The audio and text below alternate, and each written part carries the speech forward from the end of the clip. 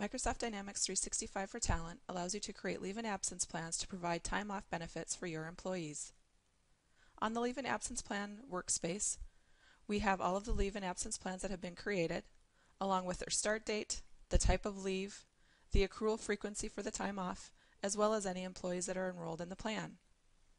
You can also go to the Analytics tab to find out enrollment, utilization rate, as well as balances for all of your employees.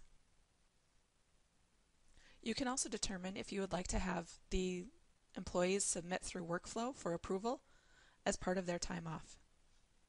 On Employee Self-Service, once an employee is enrolled in a plan, that employee can go through and request time off. The employee selects the leave type, enters a range of dates, along with the number of hours associated with those dates, and submits their time off request. If this particular type of time off goes through workflow, it will then be routed appropriately. Managers can also see the time off that employees are taking by going to My Team and selecting Leave and Absence.